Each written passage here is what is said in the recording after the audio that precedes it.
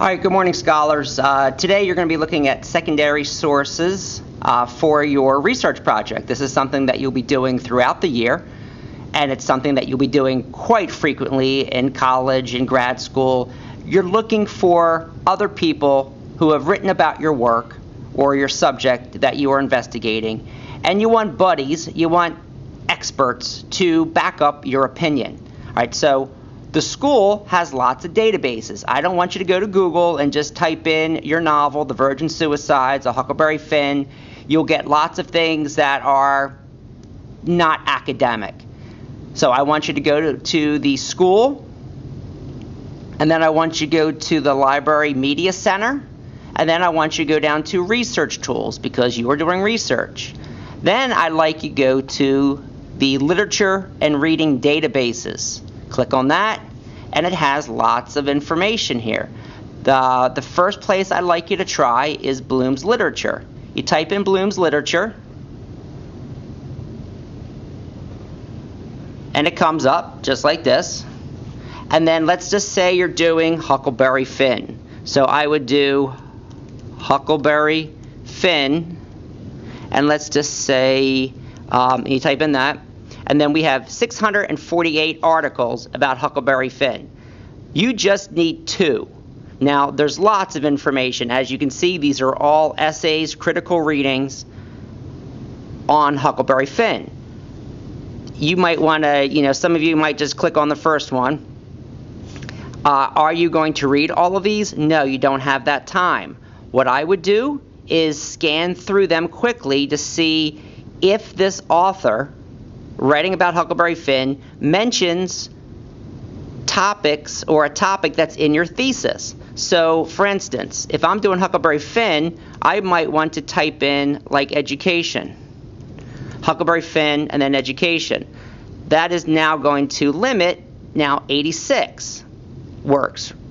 So now I've narrowed my topic a little bit and when I, or by a considerable amount actually, and then I scan through this, and then the word education will be highlighted. So here, hopefully you can see this. If not, just listen to me.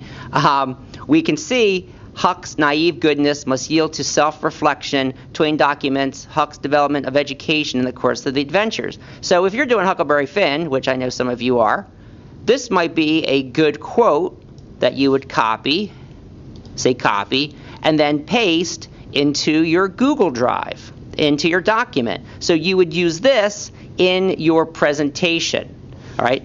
Of course, you would need to cite that. Okay, and it's uh, this is in Huckleberry Finn and Twain's Democratic Art of Writing. Uh, the author is Mary Nichols. Uh, it's from The Adventures of Huckleberry Finn, updated edition, Bloom's Critical Reading Interpretations. And if you click down all the way to the bottom, you see the citation, uh, how to cite, and it's all right here. Right? So you would copy paste that, put it in your Google Drive. Eventually, I'll teach you how to actually do the citation, but for this project, I wanted to be quick, I wanted to be relatively easy, and to get a foothold into put your foot into the research without having to be a 10, 15 page research project. You'll be getting them quite frequently in college. Right? Um, if you're having trouble, let's try a, a contemporary novel like The Virgin Suicides. There are other databases, though, you can use here. It doesn't have to be Bloom's Literature. The Virgin Suicides, I can spell that. All right, and then we have 193 articles on the Virgin Suicides. Um, so again, you want to do virgin suicides and then maybe a key word or a term to narrow that search. Uh, if not, you can just go through it, scan through it to try to get some background information. Uh, you can get information about the author.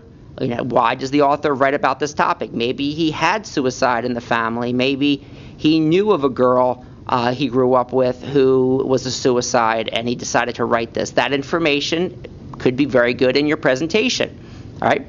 Um, take this period with your partners and look through Bloom's literature or through the other databases. For instance, we can uh, click back. Let's go back. Let's go back.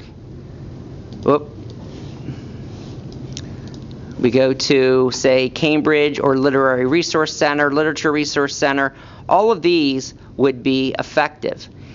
You could also use a book review, but I don't want it to be on Goodreads or Amazon or Barnes and Noble. If it's from the New York Times, it's, if it's from the Philadelphia Inquirer or the London Times Literary Supplement, those types of professional book reviews are fine, especially for contemporary novels. That means novels written in the last, say, 20 years. Some novels that were just written might be hard to find on these databases, but if you're having trouble finding information on these databases, come to me.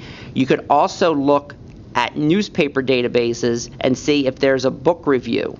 All right. Also, you can type in the book if you want to and try it in Google and then type in New York Times or the Philadelphia Inquirer. That might narrow your search or book reviews, and it might be another you know newspaper or magazine. All right, but it needs to be academic. It can't be from some source that there's no author. I do want an author with the article. All right. Uh, come ask questions if you have any questions. Thank you for listening.